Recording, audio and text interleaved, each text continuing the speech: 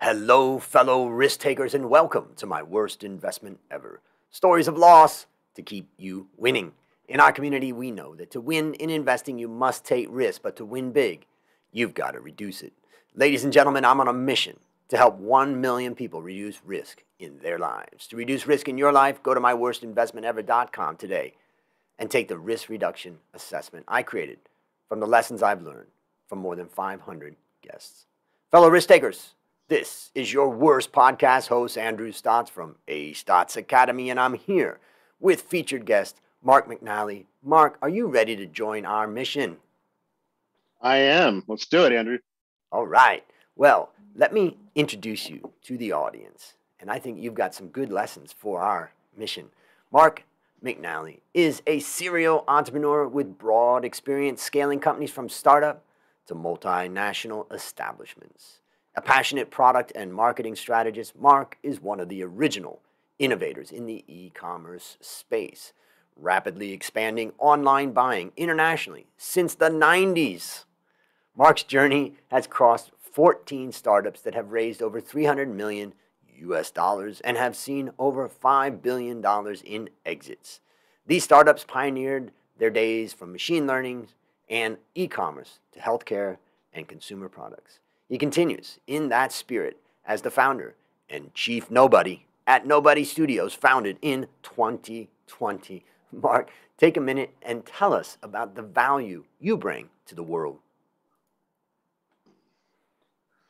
Uh, thank you, Andrew. Um, look, I think uh, most of my colleagues and the folks I get the pleasure to work with will will say that my value is my ability to to think bigger than the average person, to to be comfortable swinging bigger than most folks, um, and actually believe that by swinging bigger, you actually improve your odds of success.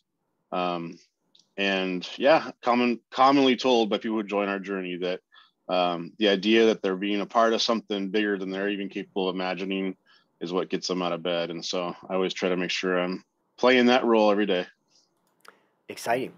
Um, and when we talked before, you know, I can see that you know you like to join the dots and all that. Maybe just um, give a give a little uh, intro about no, what you're doing at Nobody Studios, just so the audience can understand.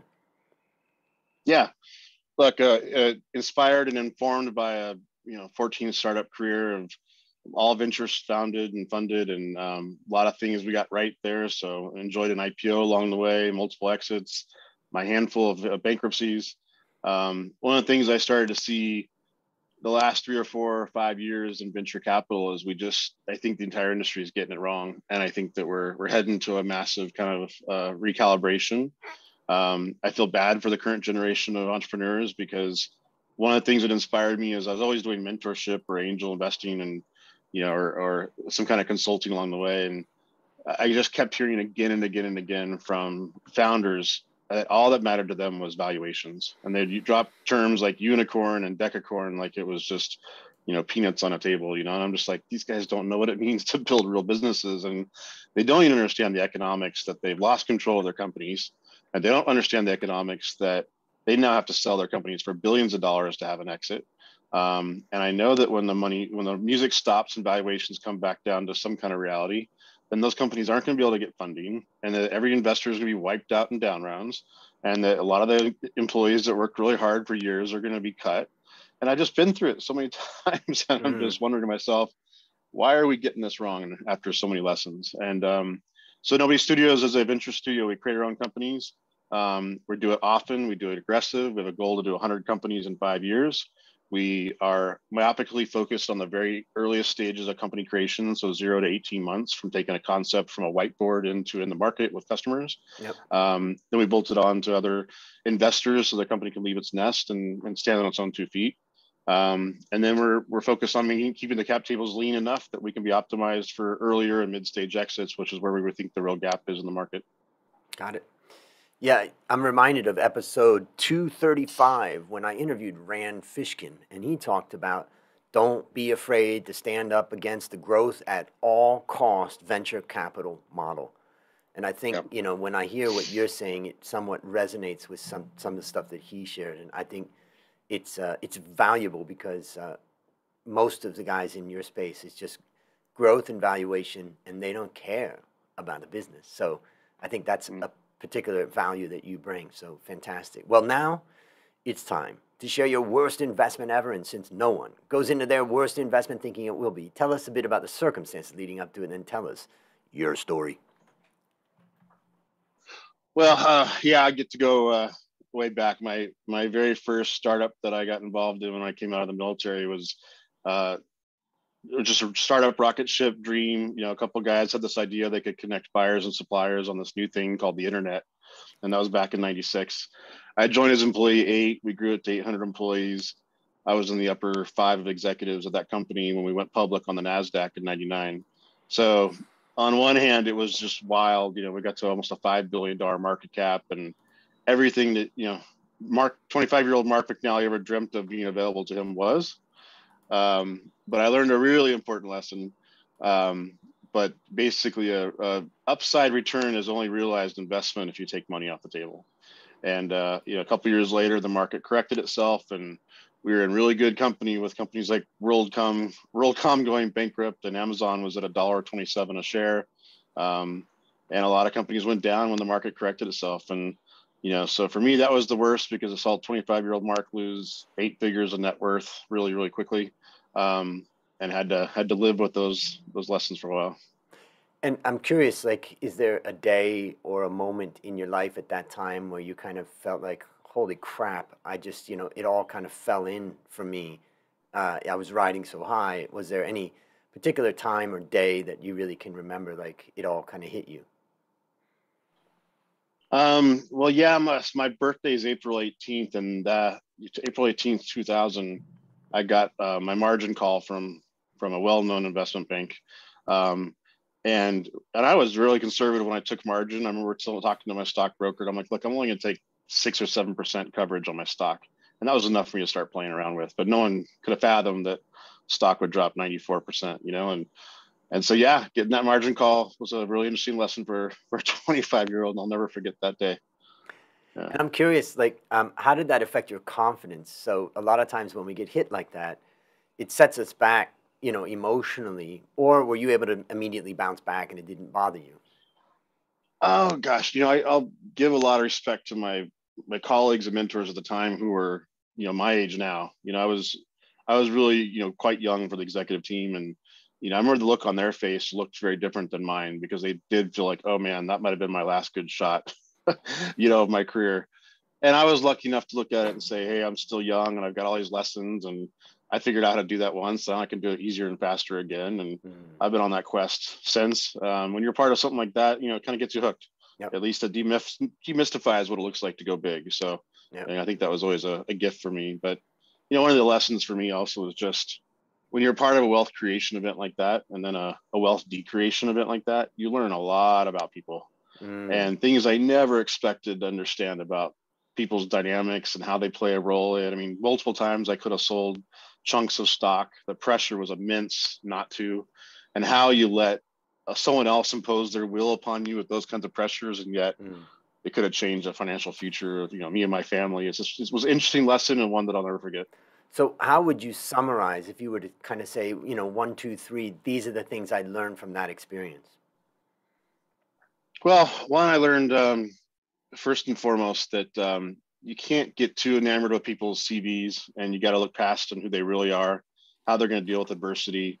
Uh, I've came to be very sensitive to any kind of manipulative type personalities because I didn't mm-hmm. want to have that in my life, um, and also how people are going to mistake, you know, the scorecard, the financial scorecard for who they are as a human being. You know, I really saw people that if the stock was good one day or one week or one month, they just thought they were a better person. And watching that in real time was a real shock to me mm-hmm. um, but one that I promised would not be me moving forward. Um, you know, like I said, I think the other big lesson I repeat is you know having to be de- demystify what it looks like going big for me was a gift because everything I'm a part of now, I feel like you know sky's the limit if you get the the why right and the execution right. And I meet brilliant people every day who just don't believe going big is something that they do, it's something that Elon Musk does or Steve Jobs. It's like a different person. Um, so that was a, a gift for me. Mm. Um, yeah. Yeah.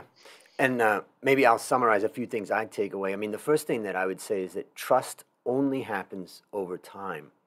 there is no hack or shortcut for building trust.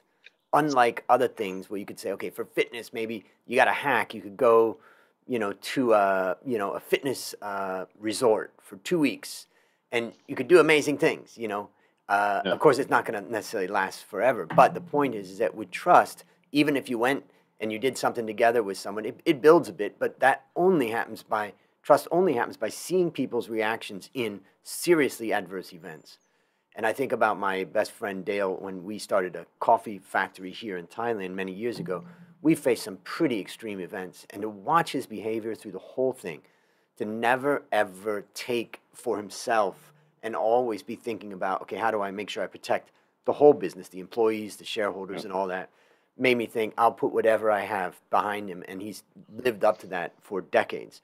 So trust yep. is the first thing you made made me think about. Um, the other thing I thought about, you know, about this concept of being connected to the market, you know, and how um, when I started as a stockbroker in Thailand, I, I, was in the research and we had sales and we had sales trading and all that buzz is happening.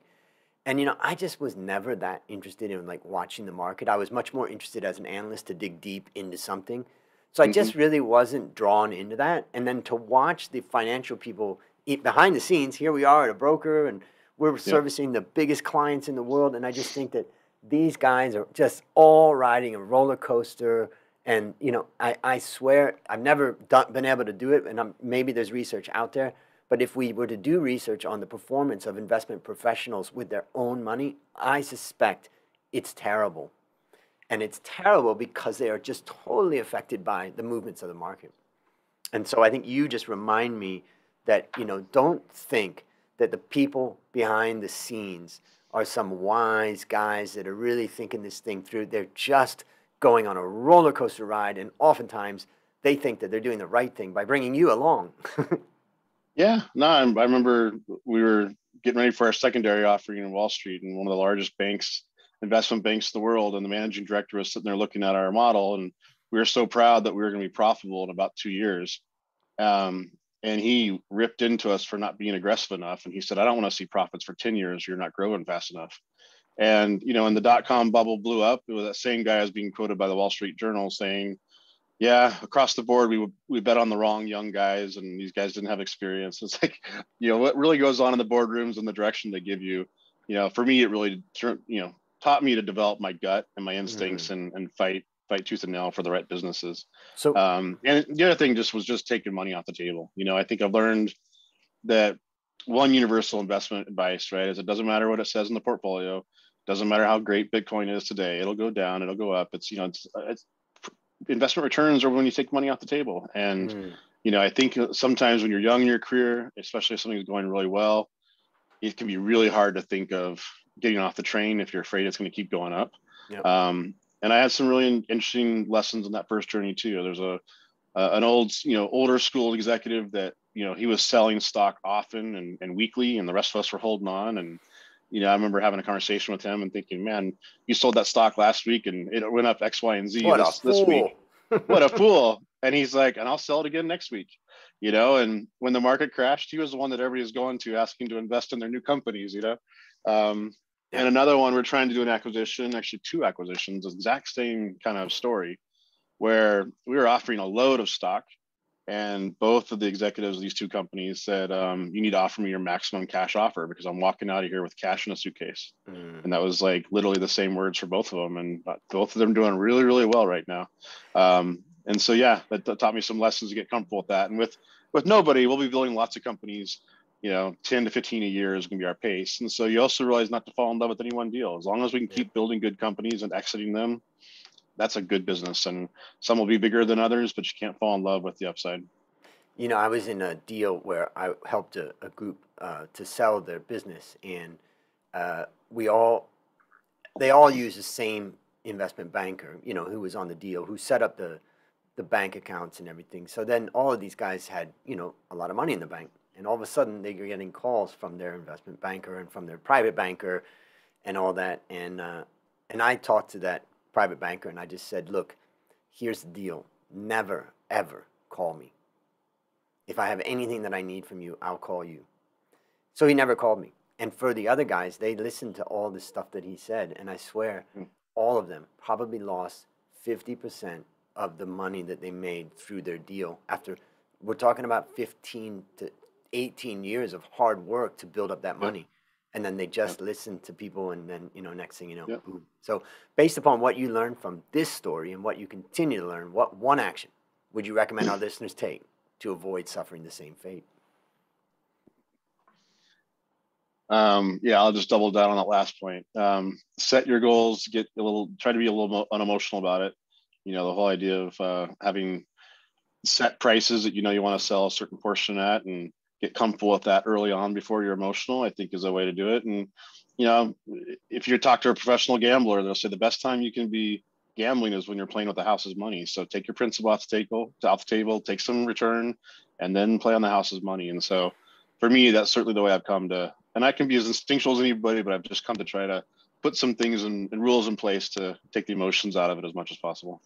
Great advice. In fact, we use kind of the opposite in the stop loss, where we say, okay, if this Mhm. falls from 100 to, to 80, I'm going to sell, you know, 50% of it. And here you're saying, look, if I put in 10 and that goes up to 100, I'm selling 10% of it. That's it. Mhm. That's my goal. That's my. And then when it goes to 200, I'm selling, you know, Yep. and so predetermined future action. All right. What is a resource that you'd recommend for our listeners? Uh, I'll have to bet on myself on that one. Um, so, you know, I was on a podcast not too long ago, and, and the last question was asked was, um, "How are you going to know when you succeed, Mark?" Mhm.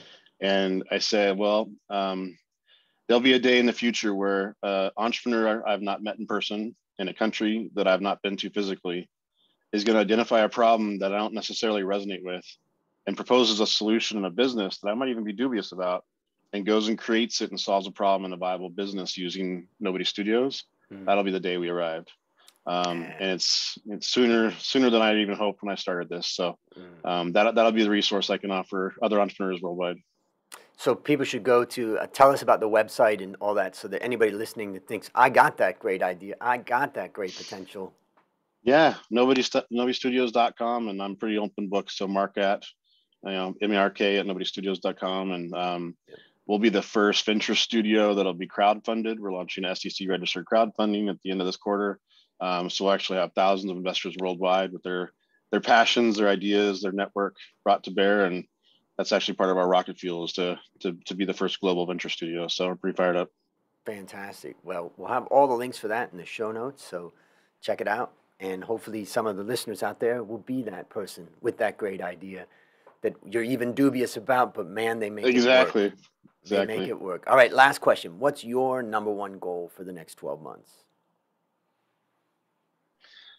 Oh gosh, uh, a lot of really amazing people have uh, trusted, put a lot of trust in me to pull this off this year, and this is gonna be a big year for us. We're gonna be building out our core team, getting the funding behind us, launching 15 companies, and I try to remind myself every single day that I'm a steward of that trust, and and that's my number one goal is to end this year, look at myself in the in the mirror, straighten my eyes, and feeling proud of what I did with that trust. Mm, beautiful.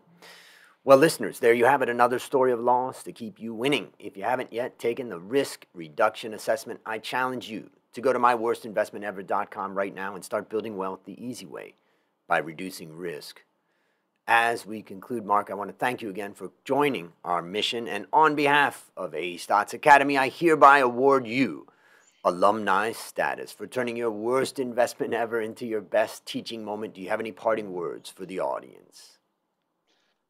just love your format and uh, as you can see from the way we talk about our own studio we're contrarian in nature and and i love that about you so keep up the good work Awesome. Well, that's a wrap on another great story to help us create, grow, and protect our wealth. Fellow risk takers, this is your worst podcast host, Andrew Stotz, thanking you for joining our mission. And I'll see you on the upside.